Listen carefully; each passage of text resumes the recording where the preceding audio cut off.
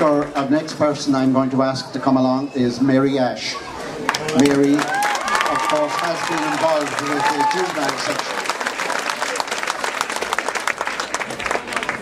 It's a huge honour for any club to welcome home a world champion. And West Waterford juveniles extend a hearty welcome to our own Kate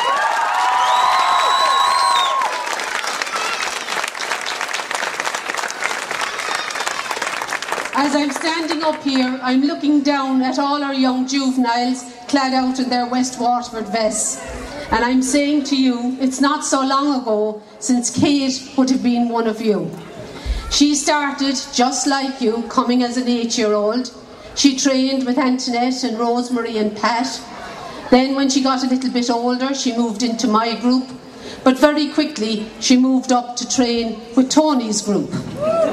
She spent many training with Tony over cross country. And Kate had only ever one complaint the races were too short. she proved it when we went to Paris in 2007 to an international cross country.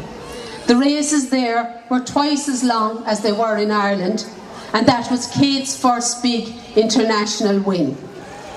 When AAI changed the distances and lengthened the cross-country distances. Kate won her first All-Ireland cross-country championship last December in the snow in Derry. And many West Waterford athletes were there to witness that. Kate always had a great commitment to training. Training came first and everything else was organised around it. And I think if she had one message for our young athletes, that would be that consistent about your training. Great things are possible when you train on a regular basis. We congratulate Kate and wish her the best of luck in all her future endeavours. Thank you very much.